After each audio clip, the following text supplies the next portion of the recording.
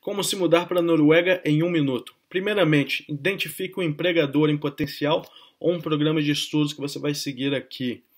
Segundo ponto, comece a preparar seus meios econômicos, comece a juntar um pouco de dinheiro, porque você vai precisar se manter aqui, vai precisar alugar um apartamento, vai precisar pagar passagem e vai precisar pagar o requerimento para o visto, certo?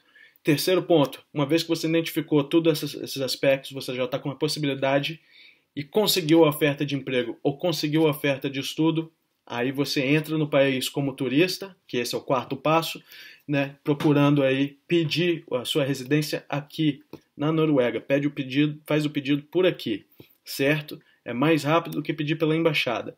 E o quinto passo e último, você começa a trabalhar e a estudar. Simples assim, em menos de um minuto. Se gostou, deixa o like, por favor, subscreve no canal para mais e detalhes. Um abraço, tchau!